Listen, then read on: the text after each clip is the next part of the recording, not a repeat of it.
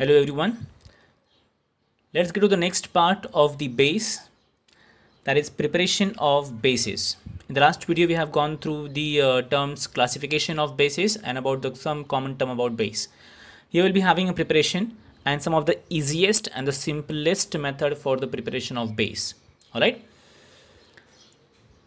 Again I'm saying guys everyone public आपको connect करना है एसिड वाले कंसेप्ट से कि आपने एसिड में प्रिपरेशन ऑफ़ एसिड जब किया था तो उसमें रिएक्शंस में क्या क्या देखा था? एंड यहाँ प्रिपरेशन ऑफ़ बेस में। सो so, आप ये स्टार्ट करने के पहले वीडियो स्टार्ट करने के पहले please go through with the concept of preparation of acid the content about acid preparation because अगर आपको वो समझ में आएगा तो यहाँ पे रिएक्शन समझ में आएगी बिकॉज़ ऑलमोस्ट कंटेंट सेम है you just have to connect them again I am saying okay let's head toward the first one the first one they are saying is from metals. That is direct synthesis or we can say direct combination okay simple it is synthesis or we can say direct combination now हमने ये part हमने पहले भी कहा था guys general reactions आपको learn करने हैं ठीक है बिकॉज़ अगर आपको पहले भी कहा था फ़र्स्ट थिंग आपको positive and negative radicals learn करने हैं number two very importantly number two क्या करना है आपको? Compound formation and number three general reaction so किसी भी टाइप के केमिकल रिएक्शंस को लर्न करने का या फिर इजीली परफॉर्म करने का ये तीन बेस्ट तरीके हैं। पहला, आपको पॉजिटिव नेगेटिव रेडिकल्स आना चाहिए। नंबर टू आपको ऐसे कंपाउंड्स फॉर्म करने आना चाहिए कि अगर मैंने आपको नाम दिया तो कंपाउंड फॉर्म कराना चाहिए। And third general reaction because ये जो आपको मैं दो एग्जांपल यहाँ पे शो कर रहा हूँ ना जनरल रिएक्शन के यहाँ दो एग्जांपल दे रहा हूँ बट अगर एग्ज़ाम में आपको मैग्नीशियम की जगह पर उन्होंने चेंज किया सोडियम से कैल्शियम से ओके आयरन से जिंक कॉपर कुछ भी हो सकता है ना? सो so, अगर आपको जनरल रिएक्शंस मालूम है तो ये रिएक्शंस होना ईजी है। Let's see the general reaction says metal plus oxygen that is always giving you basic oxides okay basic oxides याद होगा ना बेसिकली ऑक्साइड का क्या होता है मीनिंग हम देखा था पीछे सो यह magnesium plus oxygen that is combined together because magnesium having a charge plus 2 oxygen having a charge minus 2 that is giving you the compound magnesium oxide here it is 2 oxygen तो आपने यहाँ पे 2 balance किया 2 magnesium so यहाँ पे 2 लिखा okay likewise aluminium plus oxygen that is giving you aluminium oxide and this is also having a one common name called as alumina okay alumina that's a common name so this is the most easiest method आपने element metal लिया कोई भी उसको oxygen से treat किया आपको एक basic oxide मिलता है जो काफ़ी ईजी है number two by the action of water on metals okay और ये काफ़ी सिंपल मेथड है जनरल रिएक्शन उसमें क्या बोलते हैं? Active metal guys again the term says active metal मतलब क्या हो गया इसका? It means as per your metal reactivity series those metals which are active more than hydrogen remember the metals having reactivity higher than hydrogen आपको वो use करना है।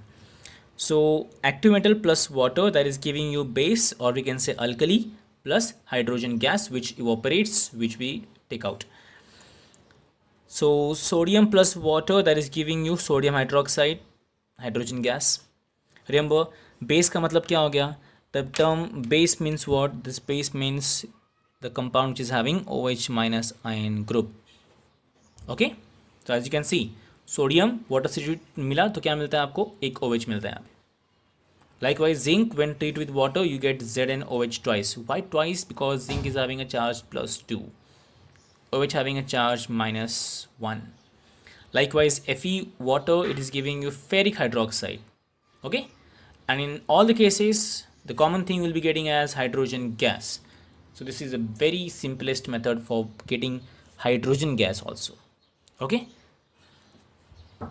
Now the next third one that is we, that we can say is by the action of water on metallic oxide okay तो again we have to go for some general reaction there is metallic और basic oxide plus water that is giving you only one compound that is base so this is your metallic और basic oxide again here so it is potassium oxide calcium oxide plus water you getting K which nothing is that आपको ये reactions balance करना है।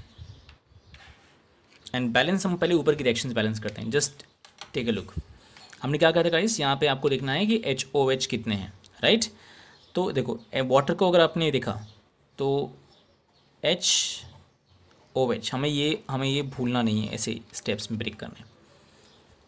तो यहाँ पे N A O H हो गया।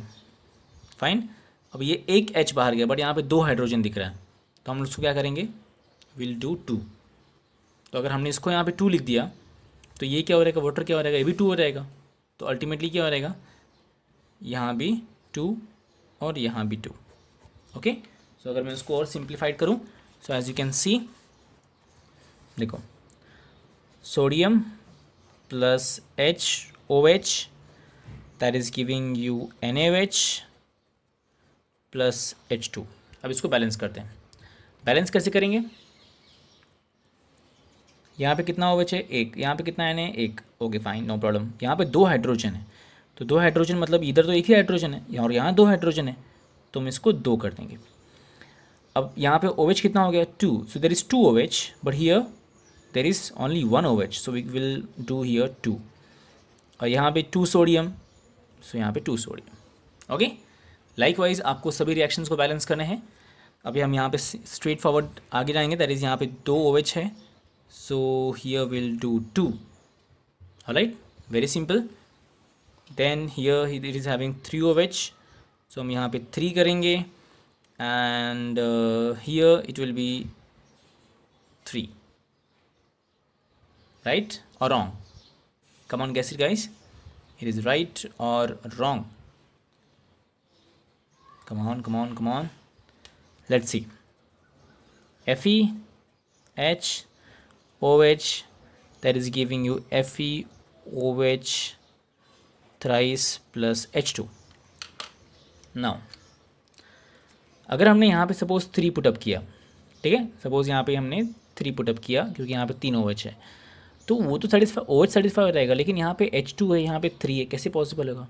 पॉसिबल तो नहीं होगा ना? तो इसलिए हमें यहाँ पे क्या करना पड़ेगा? डबल करना पड़ेगा डबल मतलब सिक्स तो सिक्स ओ एच तो सिक्स ओ एच कैसे होगा? यहाँ पे थ्री ओ एच है तो यहाँ पे हम टू कर देंगे। एफ़ ई कितना हो गया फिर टू तो यहाँ पे हम टू करेंगे। सिक्स हाइड्रोजन यहाँ पे टू हाइड्रोजन यहाँ पे हम थ्री करेंगे। So we can balance it by like here six here it is two here it is two and here it is three right same here we have to balance it potassium oxide plus water that is giving you potassium hydroxide calcium oxide plus water, calcium hydroxide आपको ये balance करने reactions ये काफ़ी easy method है. Here we got how many potassium two potassium two that's it simple balance हो गया. कैसे? Check करते हैं. Two potassium two potassium how many oxygen two oxygen two oxygen how many hydrogen two hydrogen two hydrogen very simple and easy right same goes here calcium oxide plus water that is giving you calcium hydroxide just take it out कितने हम again अब check करते हैं calcium एक calcium एक two oxygen two hydrogen two oxygen two hydrogen very simple to balance but don't you forget we need to go for general reaction never ever forget that part all right so we'll go to the next part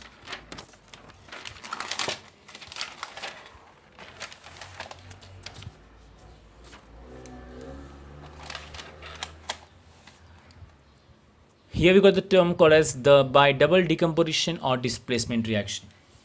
All right so general reactions in this case we are again having that is salt plus base. We are getting a again base but that base is a basic salt. Means what? Basic salt means what? A salt getting from base. Okay? Means a base which turns into a salt usko bolte hain basic salt plus again salt तो salt plus base that we are getting base plus salt just take a look calcium sulphate calcium sulphate plus N H right अब यहाँ पे क्या होता है? Double displacement हमने बोला ना? तो डबल डिस्प्लेसमेंट कैसे होगा? अब ये ओवेज ग्रुप और ये copper group they get what they get interchange so ये ग्रुप यहाँ से आके यहाँ पे ऐसा इंटरचेंज हो तो ये क्या हो गया कॉपर हाइड्रोक्साइड और भी कैसे cupric hydroxide whereas this N A two N and this S O four they go here sodium sulfate so the thing is this was a salt this was a base when they react we get another base so this was because this is said to be a basic salt so base plus salt combines to give you basic salt very simple very easy to okay Now double displacement क्यों हुआ? क्योंकि ये यहाँ से यहाँ से displace हुआ, इसलिए नाम इसको डबल डिस्प्लेसमेंट रिएक्शन दिया। कई इसका नाम क्या है? गैस करो। क्यूप्रिक सल्फेट और कॉपर सल्फेट इसका नाम क्या रहेगा? This is P B there is lead nitrate plus ammonium hydroxide same system यहाँ भी आप अप्लाई करोगे। ये पी बी का रहेगा ओ एच के पास जाएगा एन एच फोर यहाँ जाए। Okay so P B O H twice N O three but very importantly हमको यहाँ भी क्या काम करना है? बैलेंस करना है रिएक्शंस को राइट right? अभी ऑब्ज़र्व करो, यहाँ पे कितना ओ एच है? दो ओ एच है। यहाँ पे हम लोग इसको टू कर देंगे। ऑल ऑलराइट तो अभी चेक करते हैं। C U one one O H two two okay sodium two sodium two S O four one S O four one because देखो, यहाँ पे ये पूरा जो एस ओ फोर है this is one group similarly यहाँ भी S four it is one group right I know most of the people को बैलेंसिंग आता होगा ईजी होगा काफ़ी उनके लिए but there are many people जिनको बैलेंसिंग में ही इशू है. मेन इशू वहीं आता है बैलेंसिंग में. तो बैलेंसिंग करना भी काफ़ी ईजी है. You just need to understand the content left and right में जो कंसेंट कंटेंट्स हैं, उनको ऑब्ज़र्व करना है.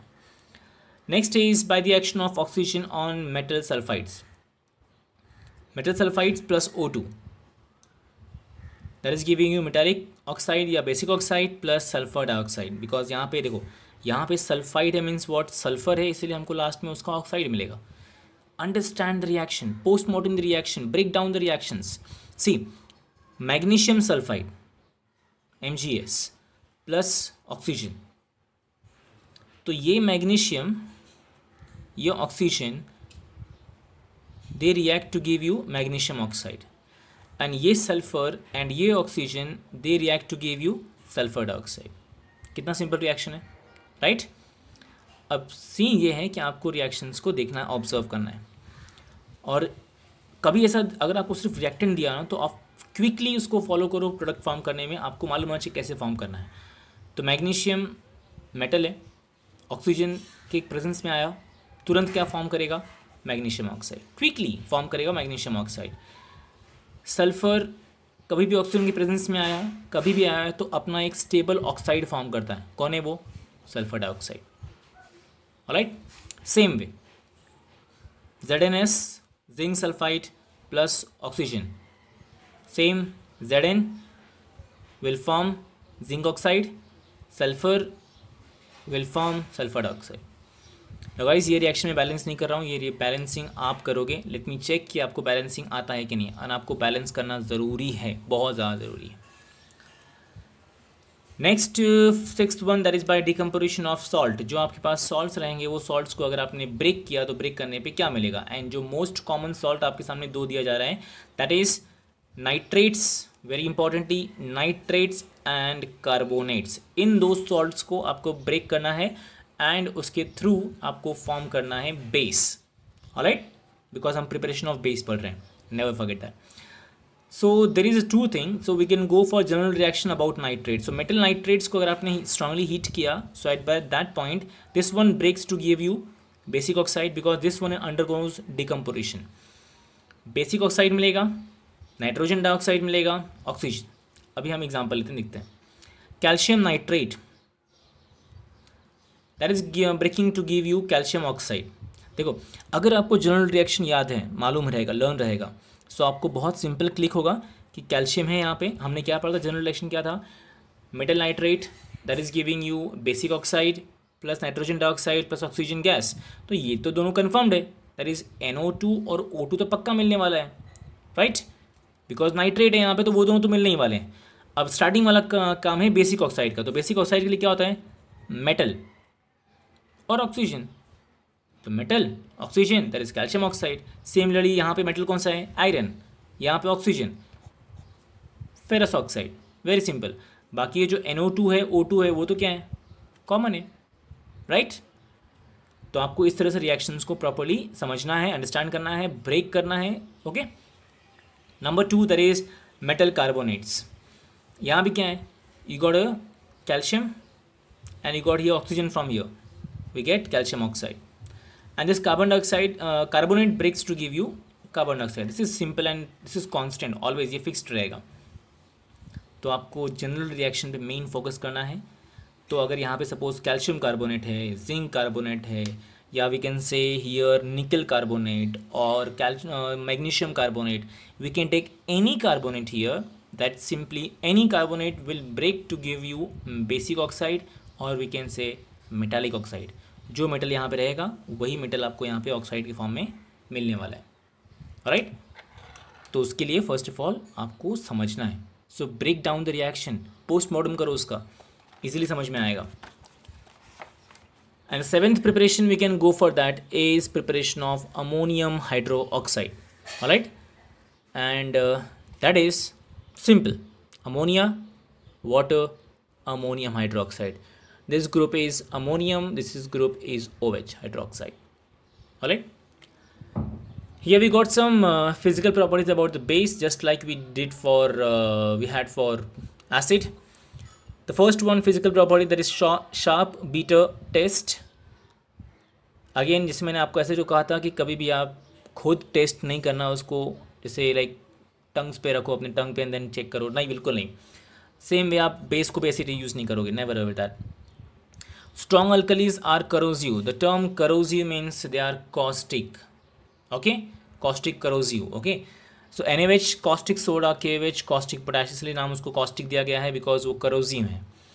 Now thing is that caustic corrosive ये सिर्फ़ करोजन वाला प्रॉपर्टी शो नहीं करता है। अगर ये आपके स्किन पे भी लग गया ना तो आपकी स्किन भी कहीं ना कहीं पे इरिटेशन होगा ईचिंग होगा रैशेस पड़ जाएँगे वहाँ पे। So never ever do any any type of मस्ती with any type of chemical okay next here we got is that is they having soapy feel means अगर आपने उसको टच किया तो आपको काफ़ी स्लिपरी फील होगा slippery to touch soapy feeling आएगी. And there are some indicators which changes the colour that is litmus if you are using litmus paper then the colour of the litmus paper will change from red to blue if you're taking methyl orange, that will change from orange to yellow, okay? And if you're taking phenolphthalein, that will change from colorless to pink. And very importantly अगर आपको electrolysis chapter याद होगा, आपका हुआ रहेगा तो आपको पता होगा दैट वहाँ भी आपका एसिड एंड बेस यूज़ होता है इलेक्ट्रोलाइसिस प्रोसेस होने के लिए इलेक्ट्रोलाइटिक प्रोसेस होने के लिए. So that's why base are been use as electrolytes okay and I am damn sure कि आपको इलेक्ट्रोलाइट्स के बारे में मालूम होगा. Right let's go for some chemical properties of bases. The first chemical property we can go that strong bases absorbs carbon dioxide from air. All right so again we'll go for what? Never forget general reaction. Okay? General reaction says strong base plus carbon dioxide that is giving you carbonate and water.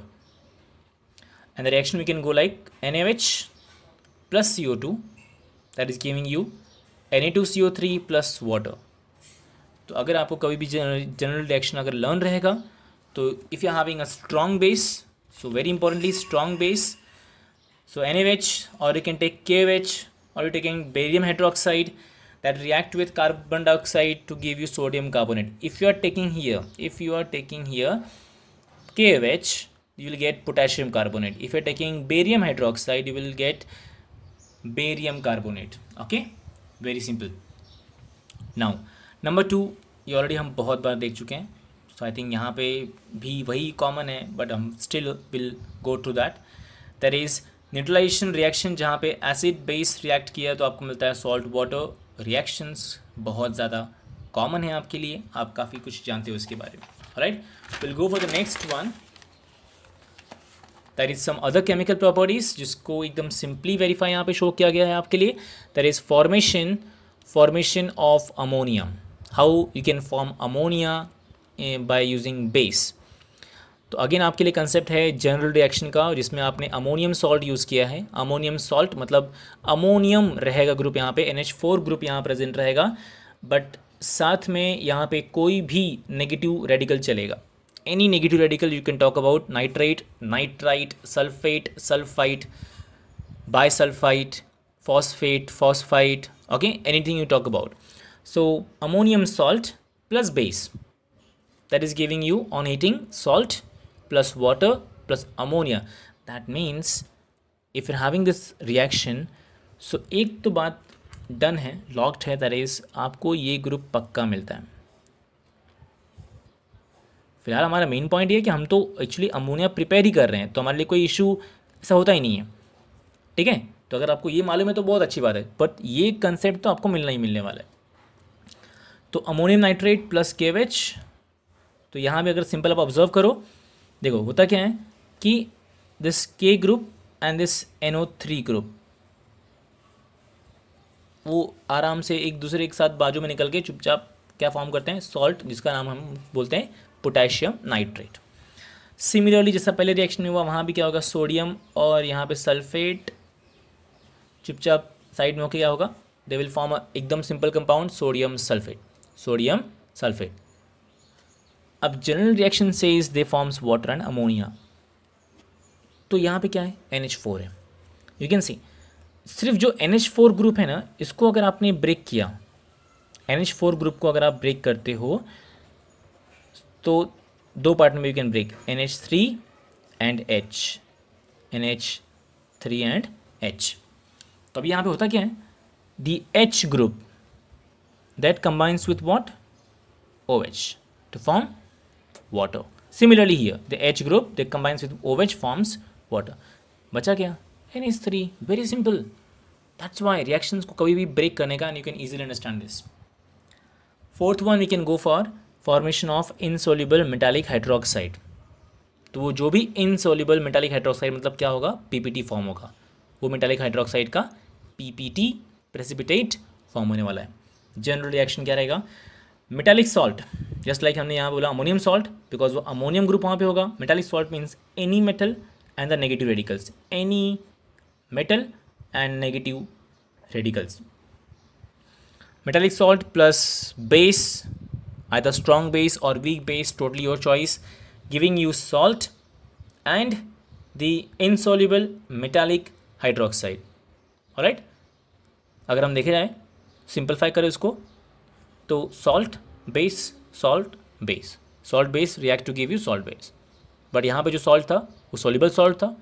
यहाँ पे जो salt था, वो insoluble salt है. दोनों में sorry यहाँ पे. दोनों में बहुत फ़र्क है. एन जो है, जो फॉर्म होता है एन वो एन क्या हो गया? आपका सोल्यूबल ग्रुप है।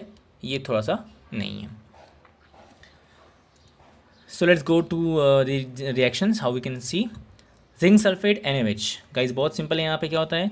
Again double displacement reaction N A N S O four Z N N O H group तो एन ए टू से four Z N O H twice very simple reaction same way copper nitrate ammonium hydroxide so ammonium group and nitrite sorry my mistake nitrite ये ammonium group nitrite group so ammonium nitrite and copper hydroxide down side arrow which indicates it is they are forming PPT right precipitate very simple reaction fifth one we can go like reaction with amphoteric oxides amphoteric means what which act as acid as well as base depending upon कि साथ में कौन सा group present है। साथ में कौन सा कंपाउंड प्रेजेंट है।